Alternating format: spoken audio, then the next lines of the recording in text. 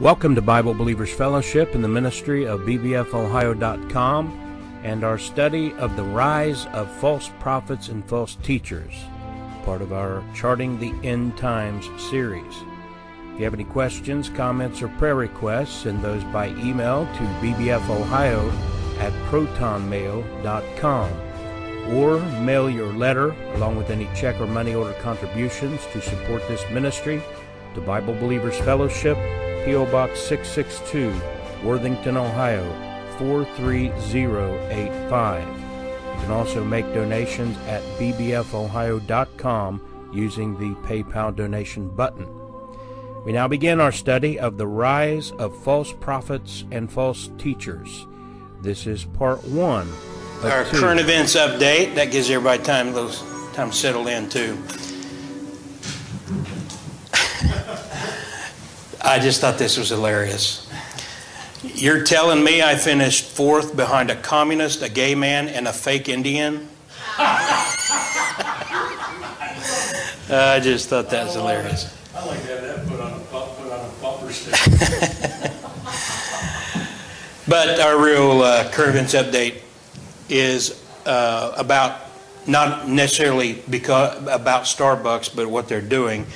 Starbucks is now funding child abuse and endangerment.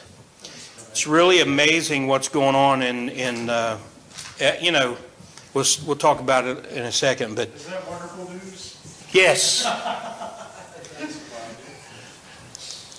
Starbucks partners with organization promoting sex changes for minors. Now, a lot of you know I stopped drinking Starbucks about what, three or four years ago? And I loved Starbucks. And I mean their coffee. I'm not talking about all the frou-frou stuff, you know. I know people who've gone to Starbucks for years and they say they get they love Starbucks coffee, but they never buy the coffee. I loved the coffee. It was like a buck fifty. It was the cheapest thing on their menu. And they started going uh, turning against Israel. They started funding uh, Planned Parenthood. They started uh, attacking the Second Amendment right to own and bear arms. And now this. And it's just amazing. We, I don't, you know, if I ever see somebody with a Star, that's a McDonald's probably, but if you see as a Starbucks cup, I don't get on them and I don't condemn them or anything like that. But I do, I tell people, I just, I cannot buy a Starbucks anymore. I just can't feel right doing it. Starbucks has launched a new transgender friendly commercial and campaign that will benefit a controversial British charity that supports overturning the age limit when children can receive cross sex hormones. It's called the hashtag What's Your Name campaign. You'll see it on um, social media. And it features an ad showing a transgender boy, which means it's a girl, being called Gemma by friends and acquaintances until arriving at Starbucks, where an employee asks, And what's your name? James, the transgender boy who is a girl, answers.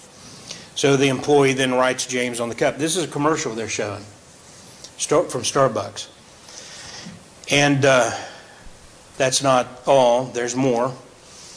We discovered that they found Starbucks stores to be a safe place where their new name was accepted and they could be recognized as who they are.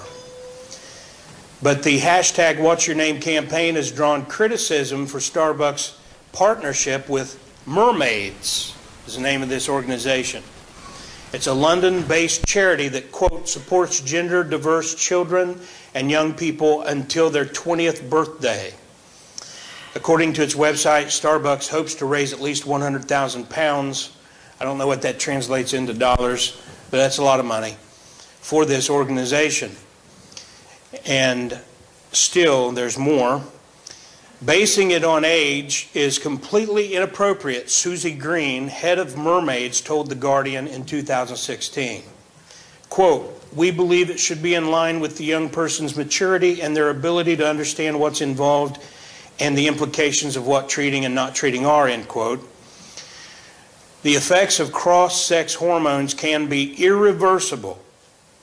And doctors in the UK who support the current policy say children, when they mature, might grow up to regret taking hormones. The fact is, most all of them do. And there's a lot of them now wanting to transition back, and they, some of them can't. And there's a high suicide rate among these poor people because they did this to themselves.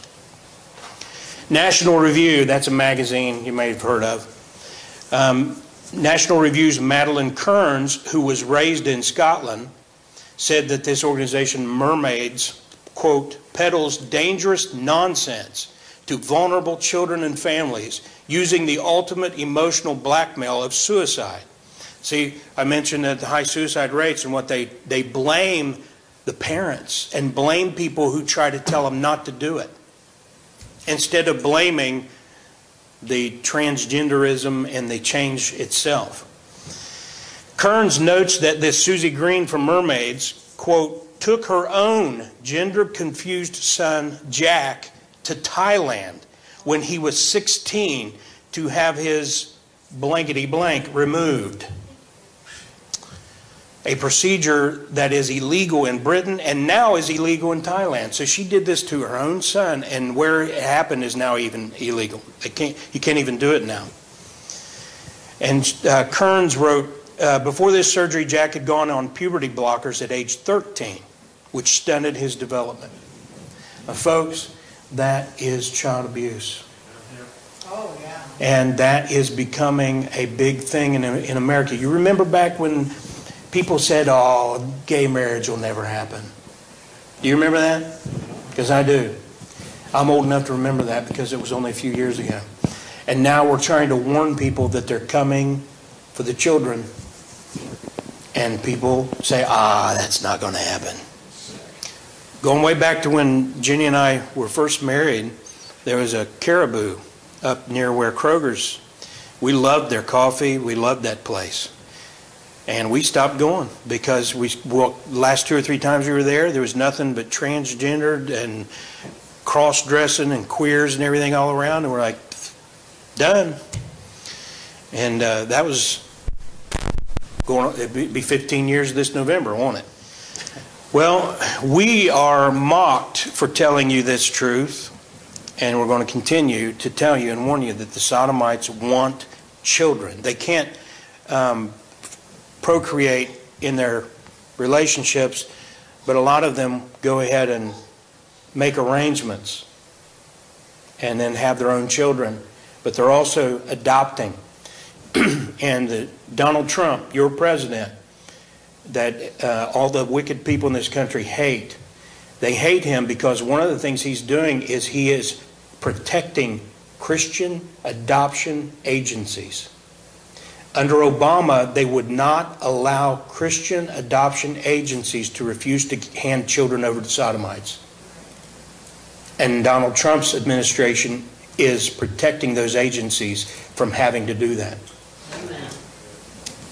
And many other things that he's he and his administration. But it's as it was in the days of Lot, we were told in the Bible. But remember back, I've showed you this before.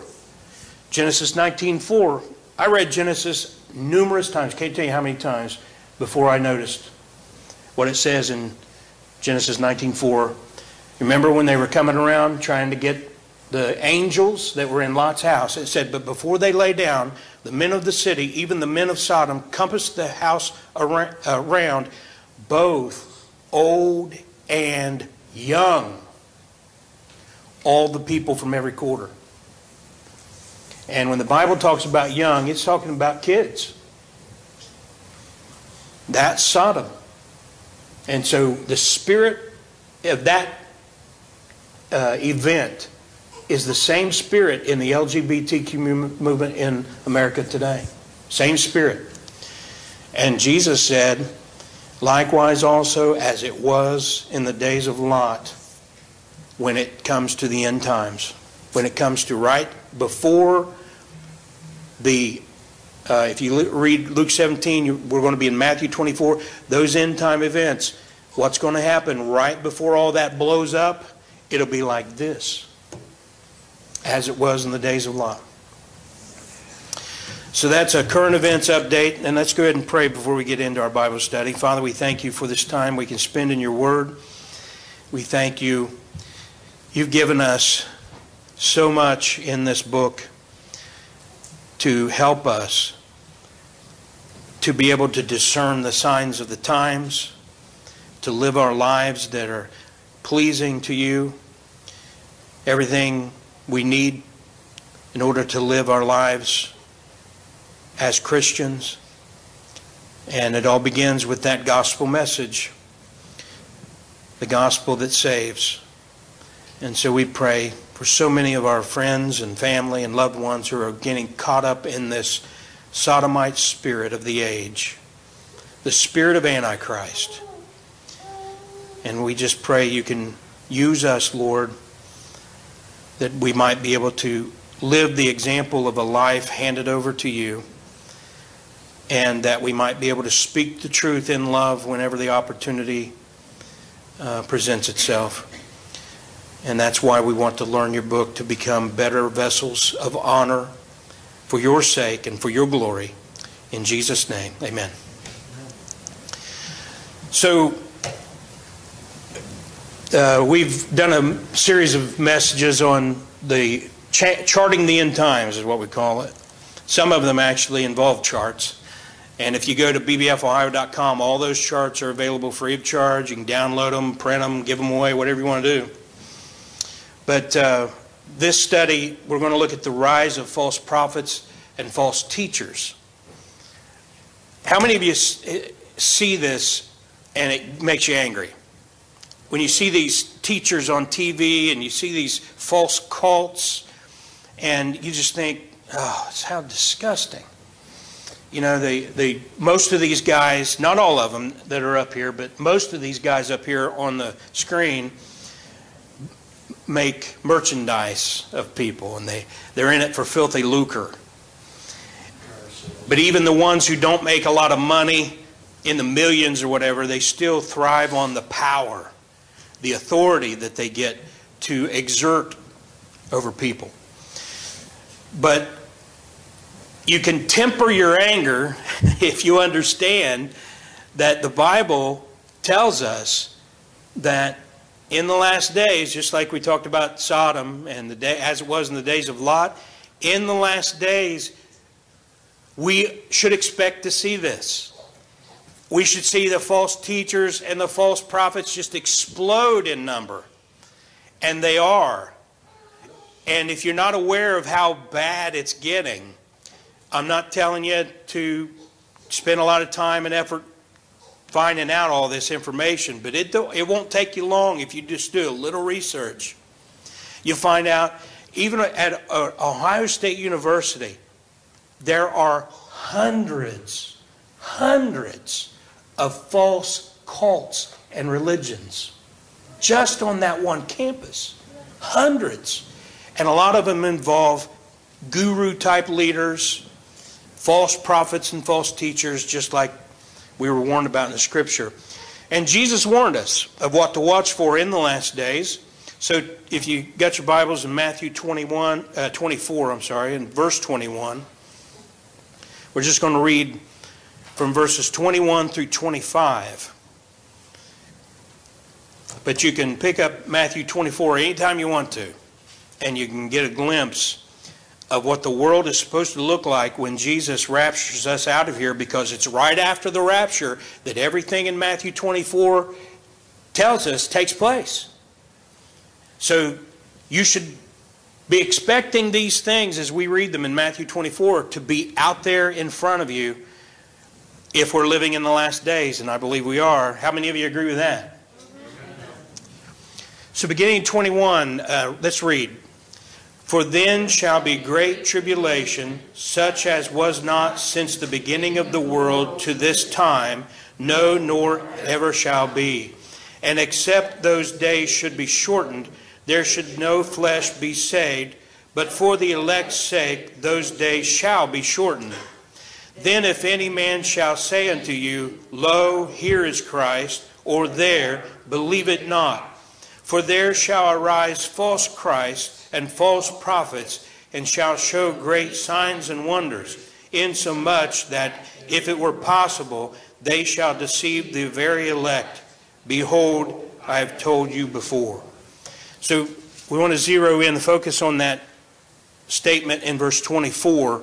For there shall arise false Christs and false prophets, and shall show great signs and wonders, insomuch that, if it were possible, they shall deceive the very elect.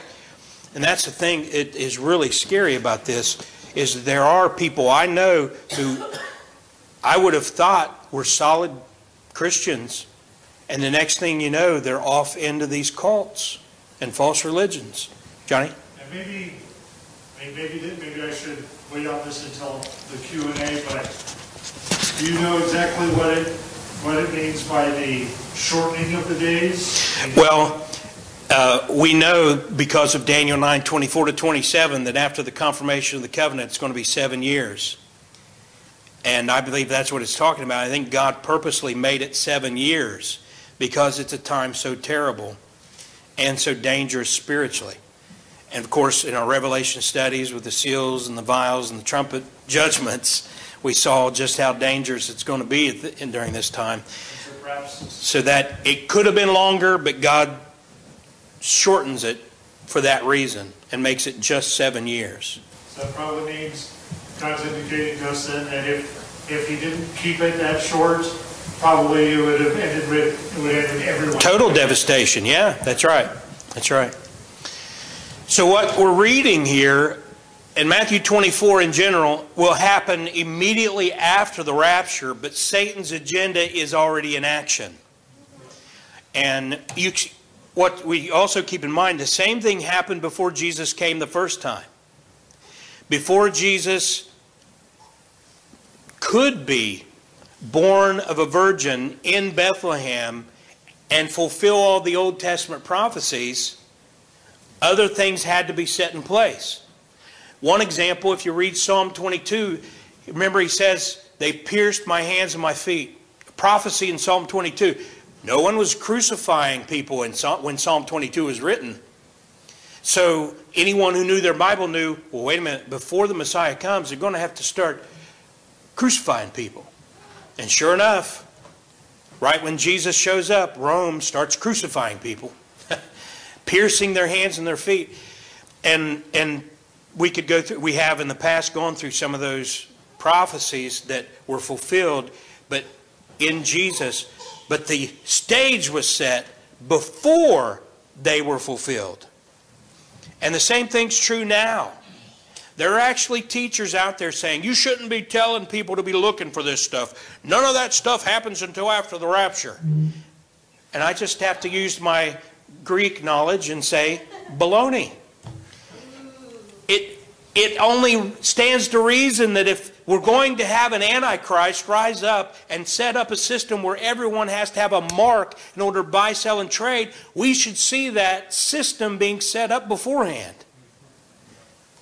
That RFID chip, there are people running around town and about, oh, it's the mark. No, it's not. It's not the mark. You won't accidentally take the mark of the beast. If you're in the tribulation period and you take the mark, it will be an act of worship and submission to the Antichrist. But the RFID chip and all this technology setting up a system for a global economy is all setting the stage. So that's the point as you read these things. And Satan's got a two tier agenda false prophecy and false doctrine. If you look at everything setting the stage for the Antichrist, and God is allowing Satan to do these things. If, if you don't understand how that works, go back and read Job. You'll see how this works. And God is allowing Satan to do these things just like God allowed Satan to do things leading up to the first coming of Christ. And he's allowing Satan to do things leading up to the rapture, the great tribulation, the second coming of Christ. And everything falls under these two uh, facets of Satan's agenda. Why? Because it's with false prophecy that he is destroying faith in the Word of God. It is through how many times have you talked about the rapture in front of somebody who doesn't believe in it, and then you realize the reason they don't believe in it is because of the false prophecies? How you know everything from 88 reasons Jesus will return in 1988 by a guy named Whisenant, all the way up to Harold Camping. You remember that a few years ago? Harold Camping's Jesus is coming back on May 12th, I think it was, and he got it wrong. He said, Oops, it's October. and he got that wrong. And over and over, these false prophecies, people, first of all, buy into them because what we're going to see in a minute, they lack use and knowledge of the Word of God. And for that reason, they lack discernment. And that's why they fall for it. I mean, we're told in the Bible no one knows the day. so you don't even have to really know a lot of Bible to know if someone predicts the rapture, they're wrong. Because God says no one knows the day. And the same thing with false doctrine. What you're seeing going on with Sodom and what you see going on in churches and among Christians and their lifestyle and their doctrine and their, their beliefs when it comes people rejecting the rapture and people uh, turning on Israel and all this stuff we'll mention again in a little bit that all falls under false doctrine. Even their sins the, the wickedness they're committing and they're claiming I'm a Christian but I'm a gay Christian. I'm a Christian but I'm not kidding you. there you know, uh, strippers for Jesus and all kinds of ministries out there. And it all comes down to their doctrine. And today we see the stage being set with all these things, in particular false prophecy and false doctrine, setting the stage for the Antichrist. Here's an example. And when I was studying for this, uh, I put my slides together, you know, usually a little, a couple days ahead of time, and then I review them and make changes and this and that. I purposely left a, a blank section, and I wanted to wait till the day we make this study and just see what's in the news. Because it, it happens so often that you just constantly see this stuff. Last week we were going to be here, and um, I would have told you about some guy in Russia who says he's Jesus, and he has thousands of people who are now quitting their jobs and going out and wa- walking around in white robes out in the hills of Russia. That was last week. Old news. Old news. Now here's here's the latest headline. This was on Fox News and Fox website. California pastor who prophesied Kanye West's transformation four years ago predicts this about Trump. And I haven't seen the supposed prophecy about Kanye West, um, but you ever heard the term, the, the old saying, a broke watch is right twice a day? Yeah. And that's what explains a lot of these people. Who was the one back in the 60s and 70s? Um, was always in the tabloids Jeane. Jeane Dixon. And she'd get one right once in a while. I mean, they claim she was right about, I think, JFK's assassination or something like that. But she missed 80%. it's like all you have to do is keep predicting things. At some point, you're going to get it right. Yeah, Mark?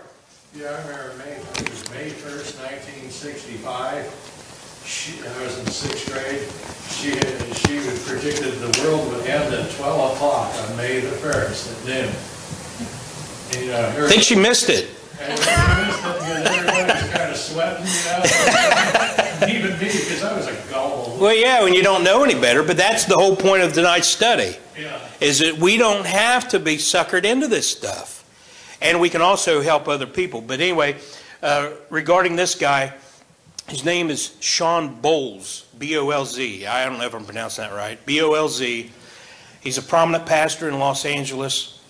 And um, yeah, that says something probably. But there are a couple of good churches out there, but uh, he's not one of them. Um, but he says, quote, we are all, as humanity, wired to hear from God. Both people to who, let me say it again, both people who know Jesus and don't know Jesus. Now, right there, you should know he's a false prophet. You are not naturally wired to hear from God. You are supernaturally wired by a thing called being born again. By, when you're saved, and you know what the wiring is? The indwelling Holy Spirit. And you know how he speaks to you? the Bible.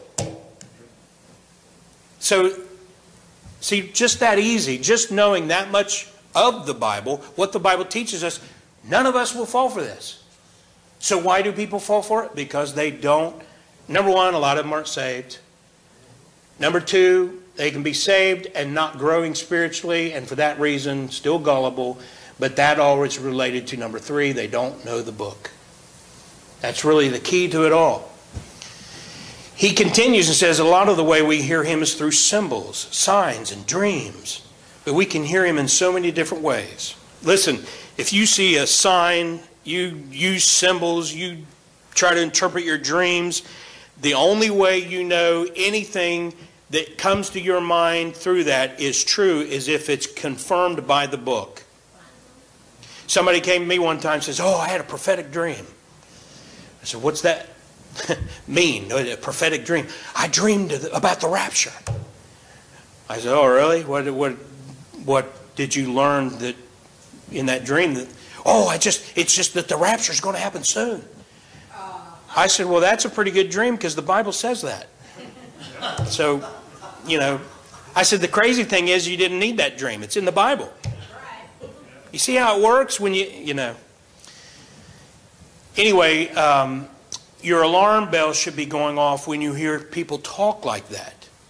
You should already be, you know, like red alert, red alert, you know, there's, there's something wrong here. He, well, you can, yeah, that's another noise you can hear. Who made that noise? Beep, beep.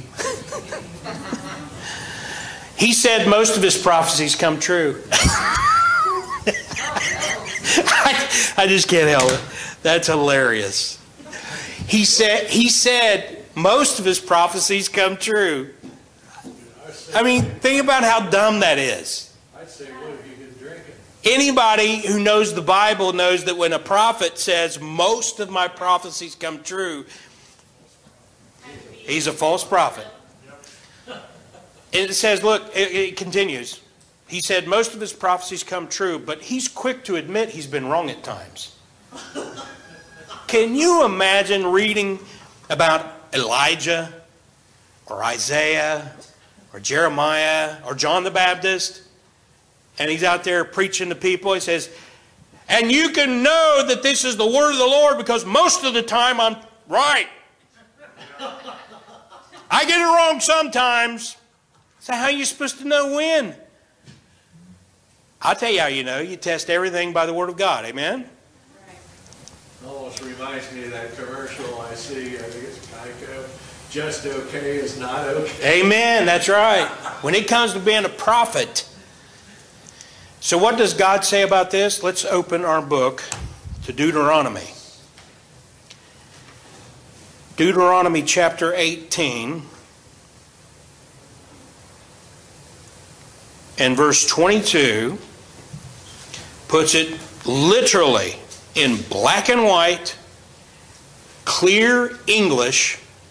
Everybody here speaks English.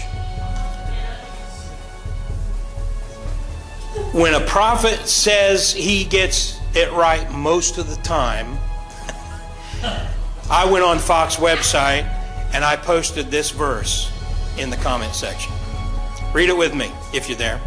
When a prophet speaketh in the name of the Lord, if the thing follow not, nor come to pass, that is the thing which the Lord hath not spoken, but the prophet hath spoken it presumptuously, thou shalt not be afraid of him. And that's another way of saying it ignore him. Just ignore him.